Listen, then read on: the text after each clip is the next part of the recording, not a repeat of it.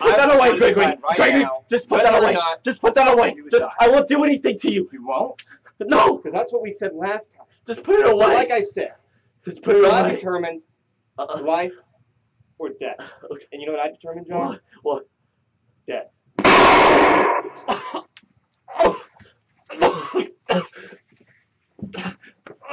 This is profit, everyone.